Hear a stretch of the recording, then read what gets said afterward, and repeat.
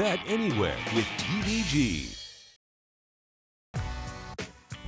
This horse is undefeated. Was never tested at all.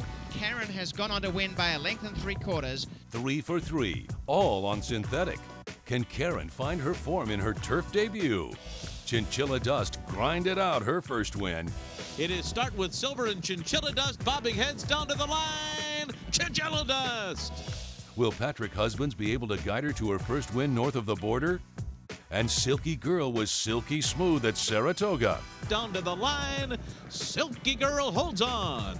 This talented filly by Scat Daddy is looking to give her sire yet another black type winner. The Grade 2 Natalma Stakes, Saturday at Woodbine.